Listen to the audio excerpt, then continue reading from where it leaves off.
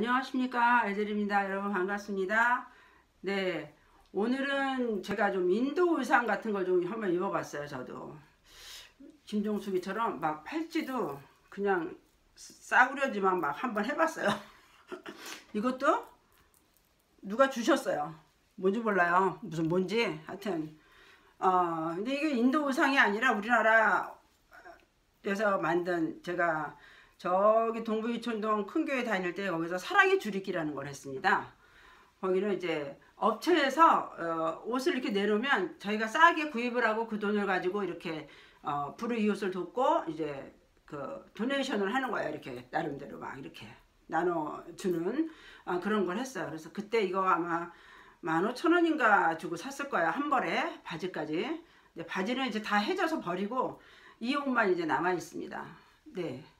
그 여름에 즐겨 입는 옷, 옷 중에 하나입니다. 시원하고 많으니까.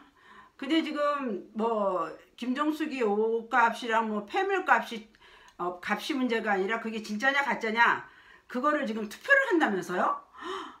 아니 투표를 하면은 뭐 우리 우파가 투표를 하겠습니까? 저쪽 좌파 애들이 투표를 하겠죠 대깨문들이 그러면 그거 가짜라고 투표를 하겠죠 그죠? 과연 어떻게 나올지 그 궁금하지 않으세요 여러분? 만약에 가짜라도 그건 문제가 됩니다.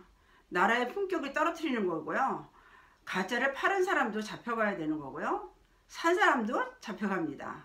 네. 어, 가품을 샀을 경우에 그 엄청난 가품을 팔아도 그렇고 그게 죄가 크잖아요. 무겁잖아요. 왜 그 세관에서 그 가품을 팔아서 저기 했던 사람들 보면 그거 다 태워버리잖아요. 가품은. 그 뉴스에 나오지 않습니까? 가끔?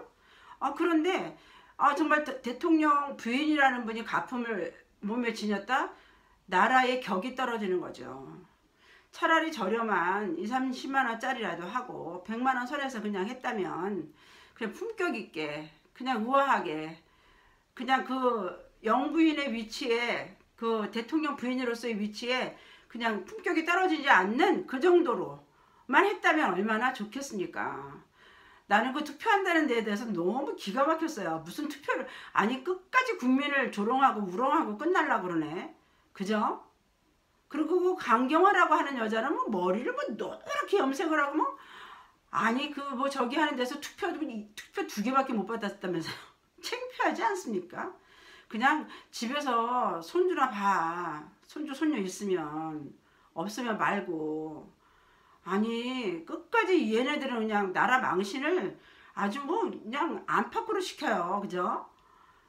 아 여러분 우리 진짜 정신 차려야 합니다. 이제는. 앞으로 그 윤석열 정부에서는 그런 일은 절대로 안 할 것이에요. 어, 이 사람은 어, 법관 출신이고 뭐 법관 출신이 뭐 하긴 뭐 아유 문재인이도 뭐 무슨 뭐 민변 출신이라 민변 웃기지 말라 그러십시오.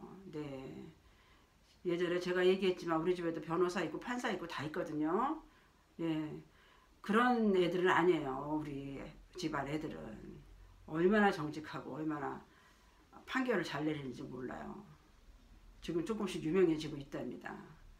예, 조카들입니다. 저희 자식들은 아니고. 아, 조카들이라도 그렇게 있다는 게 얼마나 든든한지 몰라요.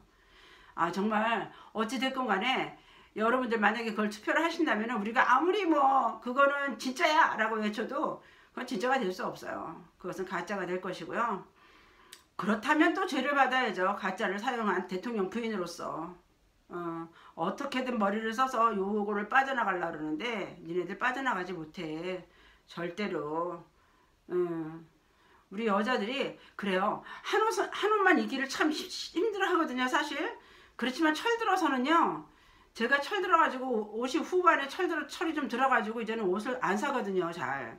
그냥 있는 거 갖고 그냥 마무리하고 그냥 이런 것도 누가 주 이것도 딸이 누가 줬다면서 딸이 나를 준 거예요. 그래가지고 내가 이거를 아 그거 버리기도 그렇고 이거 정성스럽게 만든 목걸이인 것 같아요. 이거 왜 수공예 하시는 분들 알 거예요 이거. 그냥 돌 뭐, 근데 모양은 이제 무슨 무슨 호랑이 눈같이 생겨가지고 막 그랬는데 그건 아니고. 하여튼 뭐 그렇습니다 여러분. 그러니까 오늘도 여러분 어, 화창한 봄이에요. 이제 더워질 것 같아요 금방. 네. 오늘 이렇게 또 새로운 장소에서 또 찍어봅니다. 여기 참 좋은 것 같아요 저도. 네. 여러분 감사합니다. 축복합니다. 에젤이었습니다